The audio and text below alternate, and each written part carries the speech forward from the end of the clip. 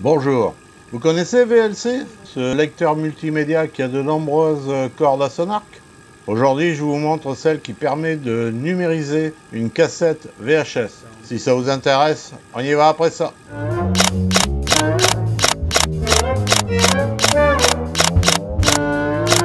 Après mon tuto sur numériser une cassette VHS, on m'a souvent demandé s'il était possible d'utiliser un autre logiciel pour numériser une cassette VHS. Alors si vous n'aimez pas utiliser le logiciel d'origine du convertisseur ou si vous n'avez pas un logiciel de montage comme Vidéo Deluxe ou autre, je vous présente une solution avec le logiciel VLC Media Player associé au logiciel de conversion vidéo Shutter Encoder car nous allons avoir besoin de convertir la vidéo.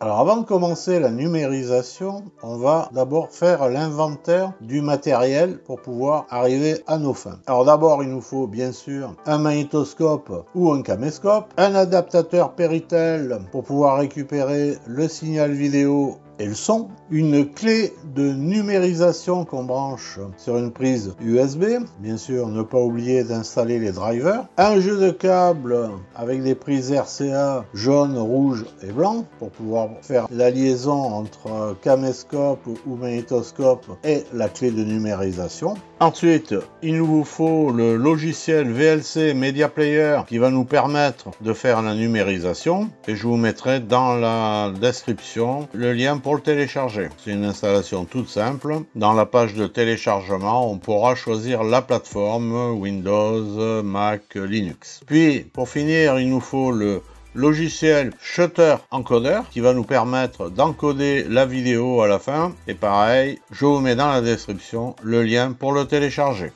Nous voici donc dans le lecteur multimédia VLC. Donc euh, VLC permet de faire énormément de choses. Il est surnommé le couteau suisse de la vidéo. Aujourd'hui, on va se contenter de l'utiliser pour numériser une cassette VHS ou une cassette de magnétoscope. Donc on va d'abord partir avec une cassette VHS. La première chose à vérifier, c'est savoir si on lit bien le signal qui vient du magnétoscope, c'est-à-dire si on a bien les images en couleur. Alors pour cela, on va aller dans Média, ouvrir un périphérique de capture, et ici, on arrive dans une fenêtre. Donc il y a plusieurs possibilités et ce qui est automatiquement sélectionné, c'est périphérique de capture. Donc le mode de capture direct show, ça on le laisse. Et ici, quel est le périphérique? Donc il est en prédéfini pour l'instant. Donc on va choisir la clé de numérisation qui est ici USB 2 Grabber. Donc on choisit USB 2 Grabber et on va vérifier simplement si on lit bien le signal venant du magnétoscope. Alors pour cela, je fais lire et je lance la lecture sur le magnétoscope. Donc là, on voit qu'on a ce qu'il faut. C'est bien en couleur et j'ai le son. Je vais arrêter. Alors là, pourquoi l'image est correcte? C'est parce que j'ai déjà fait les réglages pendant mes essais et donc il les a gardés. Mais si j'avais eu les images en noir et blanc, il aurait fallu changer le standard vidéo. Alors pour le changer, je reprends depuis le début l'ouverture du périphérique de capture. Donc là, je l'avais sélectionné GUSB 2. Et là, je vais dans Opération avancée. Et là, je coche la case Propriété du périphérique et je fais OK. Et je fais lire. À ce moment-là, il m'ouvre une fenêtre ici et le standard est du SECAM L parce que je l'avais déjà sélectionné. J'aurais pu être en pal B. Donc si je me mets en pal B, ça c'est pour un, en règle générale pour un caméscope, mais pour un magnétoscope c'est SECAM L.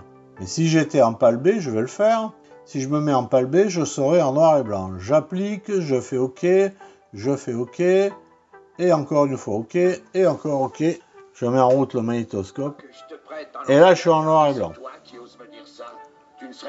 Donc, je recommence, ouvrir un périphérique de capture, option avancée, je coche propriété du périphérique, je fais OK, puis lire, et dans les propriétés, je choisis SECAM L, et je fais appliquer et OK. Et tout le reste, je me casse pas la tête, je valide les autres, et là, j'ai ma, vidéo en couleur.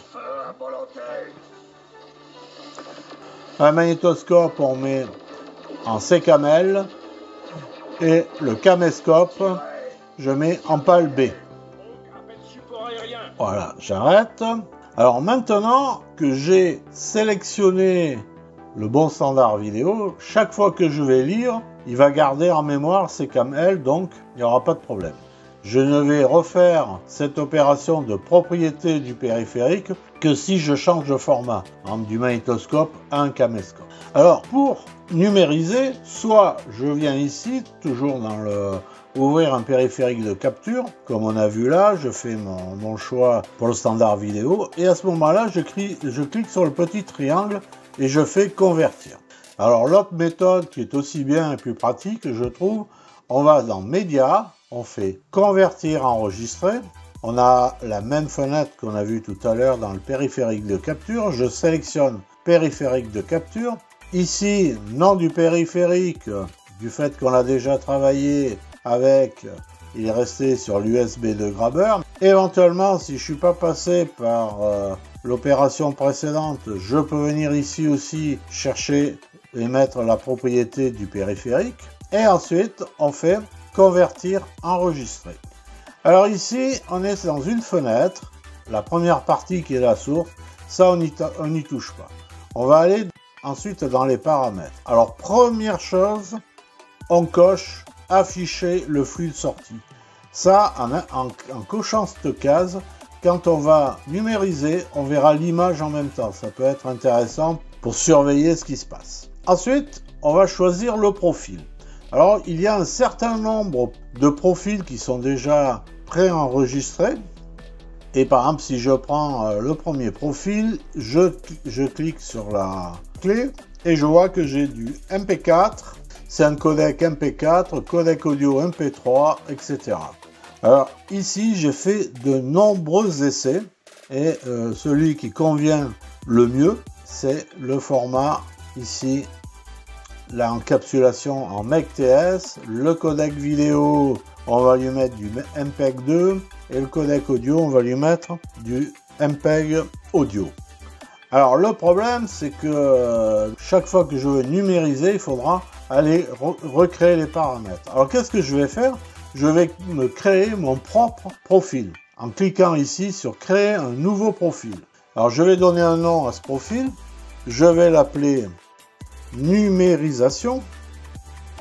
Comme ça, pour moi, ça va me parler. Je vais lui choisir le format MPEG-TS. Ça veut dire que la vidéo aura l'extension TS. Le codec vidéo, là, vous voyez, tout est grisé. Je vais mettre vidéo et il met en MPEG 1. Je vais lui mettre MPEG 2. La résolution, je la laisse en automatique. C'est lui qui se débrouille. Le codec audio, Pareil, c'est grisé. Je vais cliquer sur audio. Je choisis MPEG audio. Ici, on a le débit. Bon, je le laisse tel quel. Puis là, la fréquence d'échantillonnage que je mets à 4800. Et je fais créer.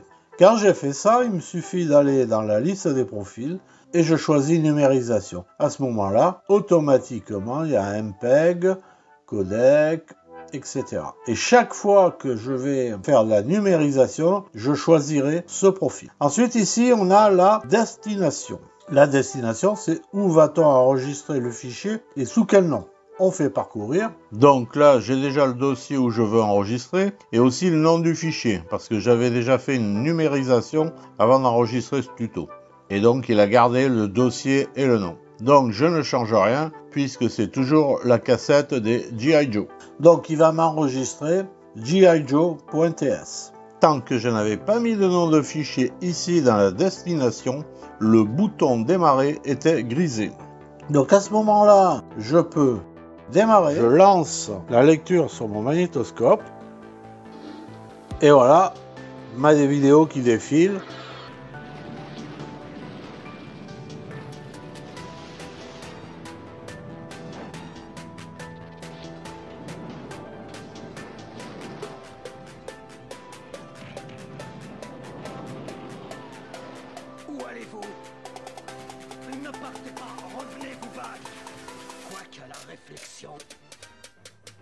Attendez-moi Et quand je veux arrêter, arrêter l'enregistrement, il me suffit en bas à gauche de cliquer sur le bouton arrêter.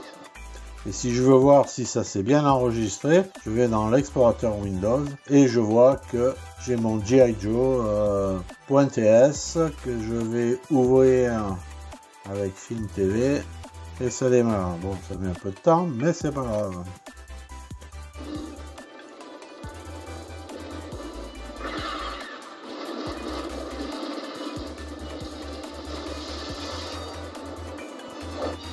Et voilà. Voilà, on vient de numériser la cassette. Alors bien sûr, là j'ai fait que quelques secondes pour le, tuto, hein. mais une cassette ça peut faire une heure et demie, deux heures, on a le temps d'aller boire le café. Donc voilà, on a numérisé notre euh, cassette, et là j'ai mon fichier avec l'extension TS. Alors le seul problème, c'est que ce fichier ne pourra peut-être pas être lu par certains logiciels ou par certains lecteurs multimédia. Donc il va falloir convertir ce fichier dans le format ad hoc, celui que l'on désire. C'est pour ça qu'on a besoin de Shutter Encoder. On va utiliser Shutter Encoder pour convertir la vidéo en MP4 par exemple, avec en prime, cerise sur le gâteau, la possibilité d'améliorer la vidéo car il peut réduire le bruit sur les images. Vous savez que quand on numérise une cassette vidéo, les images ne sont pas toujours terribles terribles. Et avec euh, Shutter Encoder, on va arriver à faire une petite amélioration. Ça ne résoudra pas tous les problèmes de qualité d'image, mais ça va améliorer. Donc pour cela, bah, vous lancez avec son icône Shutter Encoder. Alors on va d'abord choisir le fichier. Alors soit on fait parcourir et on va se balader dans l'explorateur Windows, ou alors, comme c'est écrit ici, déposez vos fichiers ici. Ah bah, je vais faire glisser mon fichier GI Joe TS ici. Voilà. On met ça ici. Et on va choisir la fonction. Donc on va par exemple convertir en MP4 avec le codec H264. Et hop, j'ai une deuxième euh, fenêtre qui s'ouvre à droite qui s'appelle paramètres. Et ici, on a des possibilités de réglage de l'audio, euh, de la colorimétrie si on veut appliquer une lutte ou quoi. Et on a correction et on peut supprimer le bruit. On va par exemple mettre au maximum, puis on verra ce qu'on fait. On peut faire plusieurs essais. Alors ici, on peut régler la taille de sortie de la vidéo. Par défaut, il y a source et si on veut, on peut, en cliquant sur le petit triangle ici, choisir la taille de sortie. Alors comme c'est une cassette VHS, on peut lui mettre du 720 par 576, euh, c'est pratiquement du 4 tiers. Ensuite, on fait démarrer la fonction et il fait le travail. Et il nous fait un petit bruit quand il a terminé. Alors comme j'ai choisi la fonction H264, mon fichier s'appelait GI Joe, il l'a appelé GI Joe underscore H264.mp4. On peut visualiser la différence entre les deux euh, images. Je reprends depuis le début. Ça c'est la vidéo originale et ça c'est la vidéo convertie avec la réduction de bruit. Donc on voit que la correction du bruit a quand même amélioré la vidéo. Ça n'a pas remis à neuf euh, la cassette VHS, mais ça a amélioré un petit peu les images. On voit qu'il y a une différence. C'est un petit peu mieux à droite par rapport à celle de gauche. Voilà, donc euh, là, on vient de convertir et de réduire le bruit sur notre vidéo. Voilà une solution pour numériser des cassettes VHS ou provenant d'un caméscope quand on n'a pas de logiciel dédié à la numérisation, avec en prime la possibilité d'améliorer un peu la qualité des images. Cette méthode permet d'obtenir un fichier vidéo style MP4 par exemple, mais par contre il ne sera pas possible de graver un DVD. Là il faudra un logiciel dédié à la gravure. J'espère que ce tuto aura rendu service à certains d'entre vous. Et en attendant la prochaine vidéo, je vous dis à très bientôt. Ciao ciao